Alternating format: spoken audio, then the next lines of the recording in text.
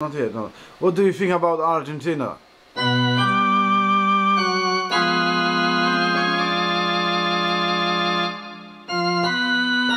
What do you think about Argentina?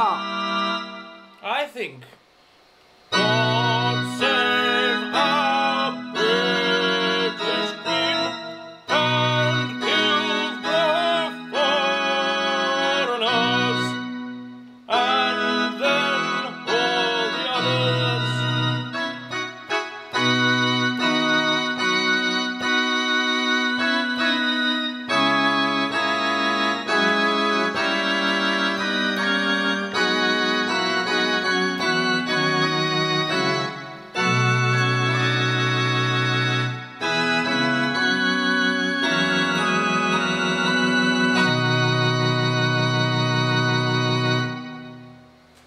Is that all? Yeah.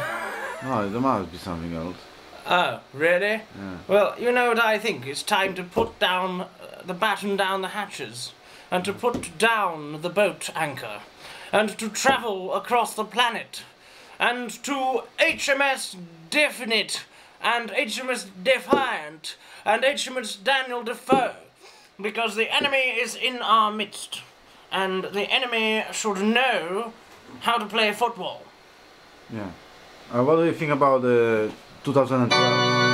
Uh, London will win the Olympics? I think that England Yeah. will win Oh, really? all the sporting events in the Olympics. And Argentina? will lose all of its sporting events. Uh-huh.